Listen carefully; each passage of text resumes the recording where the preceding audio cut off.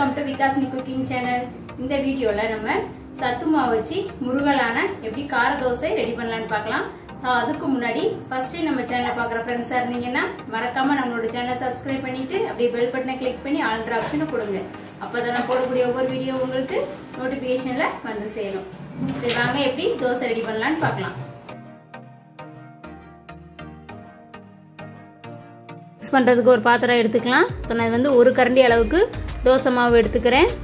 சரி நீங்கள் ஒரு கரண்டி அளவு தோசை மாவு எடுத்தீங்கன்னா அதில் ஆஃப் கரண்டி அளவுக்கு சத்து மாவு சேர்த்துக்கலாம். நான் அதே கரண்டியில் எடுக்க முடியாது இல்லையா? அதனால் அதை விட கொஞ்சம் சின்ன கரண்டியில் எடுத்துக்கோங்க. அளவு கரெக்டாக வரும். ஸோ இப்போ பாருங்கள் நான் ரெண்டு கரண்டி மாவு எடுத்துக்கிறேன். ஸோ ரெண்டு கரண்டி மாவு எடுத்தோம் அப்படின்னா நம்ம ஒரு கரண்டி தாராளமாக சத்து மாவு சேர்த்துக்கலாம். ஸோ எதுக்காக நம்ம அரிசி மாவு சேர்க்குறோன்னா இன்னும் நமக்கு கிறிஸ்பியாக வரணுன்றதுக்காக தான் நம்ம சேர்த்துக்கிறோம். ஸோ சேர்த்துட்டு தேவையான அளவு உப்பு சேர்த்துக்கலாம். உப்பு சேர்த்தாச்சு. இப்போ இதுக்கப்புறம் ஒரு ஆஃப் டீஸ்பூன் அளவுக்கு மஞ்சள் தூள் ஒரு ஆஃப் டீஸ்பூன் அளவுக்கு மிளகாய் தூள். ஸோ நமக்கு சத்து மாவு தோசை மாதிரியே தெரியாது. ஸோ நமக்கு லைட்டாக இனிப்பு டேஸ்ட்டும் இருக்கும். நமக்கு கார டேஸ்ட்டும் இருக்கும்.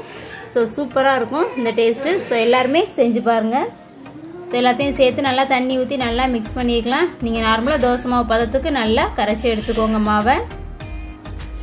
ஸோ இப்போ நமக்கு மாவு ரெடி ஆயிடுச்சு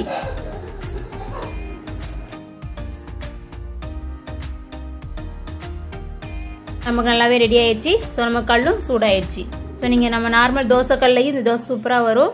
ஸோ எதுனாலும் நம்ம வச்சுக்கலாம்.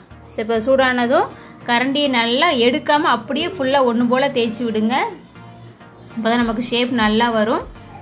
ஸோ இந்த மாதிரி ஃபுல்லாக மாவை தேய்ச்சி விட்டுறலாம். தேய்ச்சி விட்டுட்டு மேலே லைட்டாக ஆயில் அப்ளை பண்ணிக்கோங்க.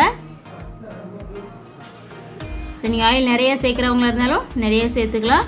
ஸோ ஆயில் அப்ளை பண்ணிவிட்டு ஒரு மூடி போட்டு மூடி வச்சிடலாம். ஸோ இது வந்து நம்ம திருப்பி போட்டு வேக வைக்க வேண்டாம். மூடி போட்டாலே நமக்கு நல்லாவே வெந்துடும் ஸோ அது பாருங்கள் நல்லாவே நமக்கு வெந்துருச்சு. தோசை அப்படியே தன்னால் நமக்கு மேலே எலும்பி வர ஆரம்பிச்சிடும் ஸோ இந்த டைமில் ஒரு கத்தியோ அல்லது ஸ்பூனோ வச்சு நம்ம கட் பண்ணி வைக்கலாம் ஸோ இந்த மாதிரி கொஞ்சம் டிசைனாக கொடுத்தா குழந்தைங்களும் விரும்பி சாப்பிடுவாங்க. ஸோ இந்த மாதிரி சுற்றி விட்டுருங்க. கட் பண்ணிவிட்டு அந்த எண்டுலேருந்து இப்படியே சுற்றி விடுங்க. லைட்டாக தோசை சூடாக தான் இருக்கும். கை சுடும். ஸோ உங்களுக்கு முடியலை அப்படின்னா நீங்கள் எடுத்து பிளேட்டில் வச்சுட்டு இந்த மாதிரி சுற்றி ரோல் பண்ணி விட்டுருங்க. ஸோ பாருங்கள் நமக்கு தோசை முருகலான தோசை கேப் சைஸில் தோசை ரெடி ஆயிடுச்சு. ஸோ அதுக்கப்புறமா நான் ஒரு சின்ன தோசை ஊற்றுறேன் பாருங்கள் ஸோ தோசை இது மாதிரி வெந்துருச்சு நமக்கு. அது மாதிரி மூடி போட்டு வேக வச்சு எடுத்துட்டேன். ஸோ இந்த மாதிரி கட் பண்ணிவிட்டு நம்ம ரோல் பண்ணி விட்டுறலாம். ஸோ நீங்கள் சின்ன தோசையை கூட செஞ்சு பாருங்கள் குட்டி தோசைனா இன்னுமே குழந்தைங்க விரும்பி சாப்பிடுவாங்க. ஸோ இந்த மாதிரி நம்ம ரெடி பண்ணிக்கலாம். ஸோ இது சைடிஷ் வச்சும் சாப்பிட்லாம். சட்னி குழம்பு எதுனாலும் வச்சு சாப்பிட்டுக்கலாம். சைடிஷ் இல்லாமலும் அப்படியே கூட நம்ம சூடாக டேஸ்ட்டாக சாப்பிடலாம். ஓகே ஃப்ரெண்ட்ஸ் இந்த வீடியோ பிடிச்சிருந்தா லைக் பண்ணுங்கள் கமெண்ட் பண்ணுங்கள் ஃப்ரெண்ட்ஸ்க்கு ஷேர் பண்ணுங்கள் அப்படியே சப்ஸ்கிரைப் பண்ணாத ஃப்ரெண்ட்ஸ் இருந்தீங்கன்னா மறக்காமல் சப்ஸ்கிரைப் பண்ணிவிடுங்க தேங்க்யூ ஃப்ரெண்ட்ஸ் தேங்க்ஸ் ஃபார் வாட்சிங்